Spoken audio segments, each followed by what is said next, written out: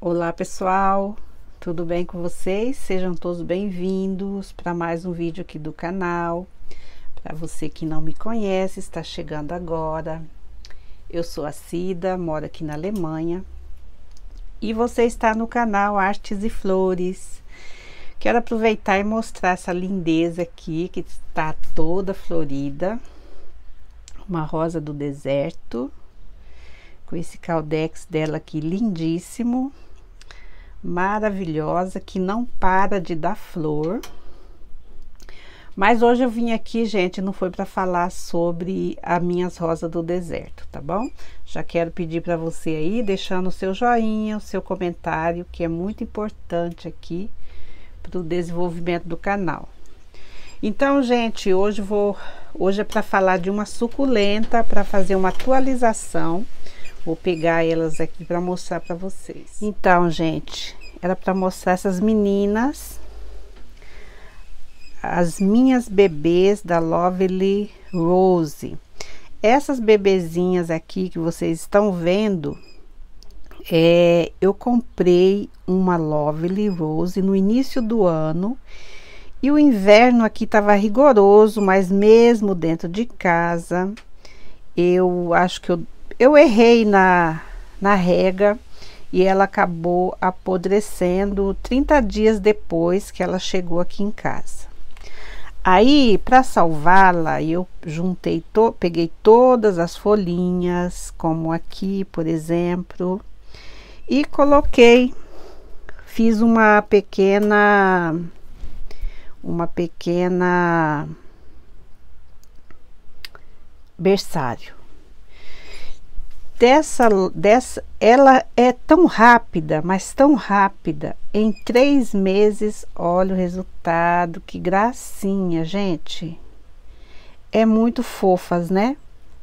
E muito rápidas também. Olha que gracinha. Muito rápidas. Questão assim de três meses. Olha o tamanho dessas meninas, coisa mais linda. Esta é a suculenta mais linda que eu acho do mundo suculento. Essas meninas aqui, que parece uma rosinha de tão fofa. Ela tá assim com umas pontinhas escuras, porque eu fiz uma adubação é, orgânica, né? Com um adubo bem forte, orgânico. Então ficou essas manchinhas aqui, mas não é nada não, é só para adubar mesmo alimento aí para essas mocinhas. Então, que coisa linda, né? Então era isso aí. Eu queria mostrar elas. Ah, tem mais aqui, ó. Aqui tem mais umas aqui sozinhas. Olha. Que gracinha. A suculenta mais fácil de propagação. Eu nunca tive tanto sucesso em propagar as Lovely Rose, como eu estou tendo, as suculentas, né, na verdade, porque aqui é muito frio e o metabolismo delas fica muito devagar. Mas por que que eu tive, obtive sucesso com elas? Porque elas ficaram na minha mini estufa, né? E por isso eu tive sucesso aqui com a propagação das folhinhas em propagá-las por folha.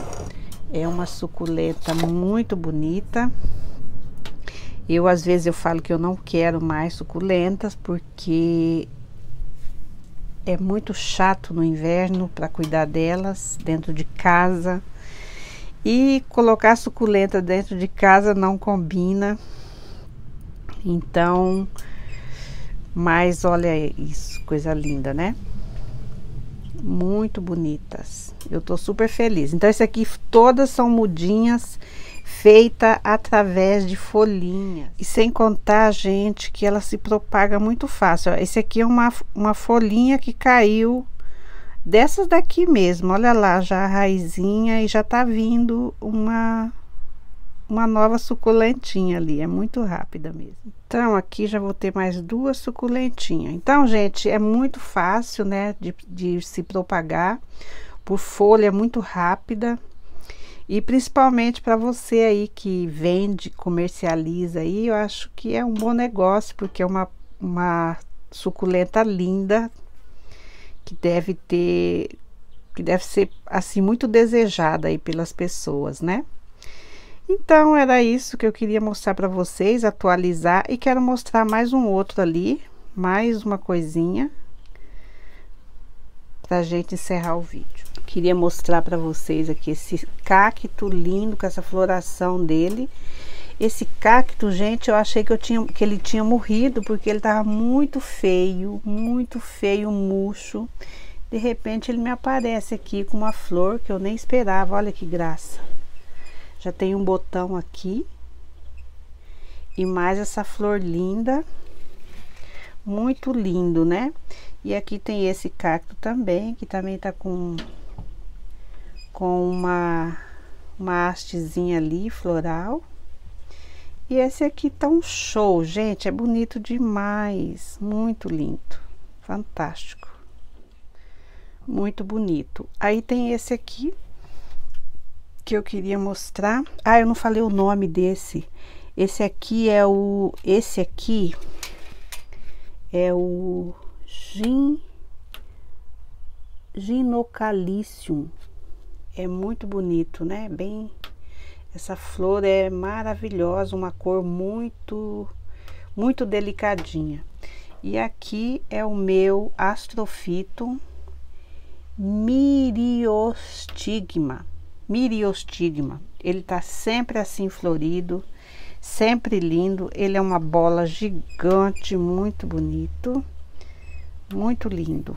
Ele já floriu, já, já mostrei flores dele aqui esse desse verão. Então, pessoal, era isso que eu gostaria de mostrar para vocês, né, de mostrar essas novidades aqui de floração de cactos e mostrar minha Lovely Rose, meus bebezinhos. Espero que vocês tenham gostado. Deixa aí para mim o seu joinha. Se inscreva no canal.